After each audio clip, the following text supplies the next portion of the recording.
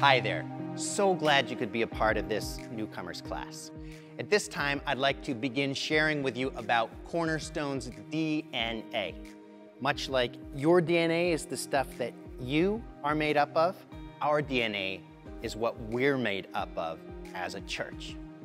Now, when I refer to Cornerstone's DNA, I'm referring specifically to our vision statement, mission statement, core values, bedrock statement, and discipleship pathway.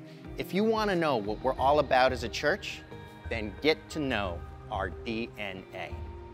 Our DNA speaks to why we're here as a local church, but even more importantly, it speaks to who is the very center of our existence as a local church.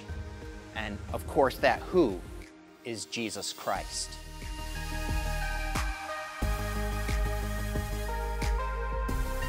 As we explore Cornerstone's DNA in this class, one of the things that I want you to notice is how the name of Jesus runs like a scarlet thread through all of our statements of purpose, from our vision and mission and bedrock statements uh, to our discipleship pathway.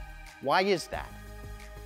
It's because Jesus is absolutely central to everything Cornerstone is about. If there's one word that sums up what Cornerstone is all about, or any other church for that matter, it's Jesus.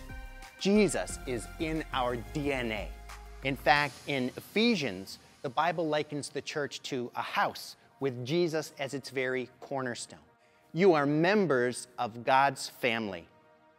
Together, we are His house, built on the foundation of the apostles and prophets.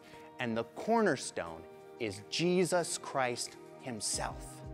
So now you know where we get our church's name from. The cornerstone is Jesus.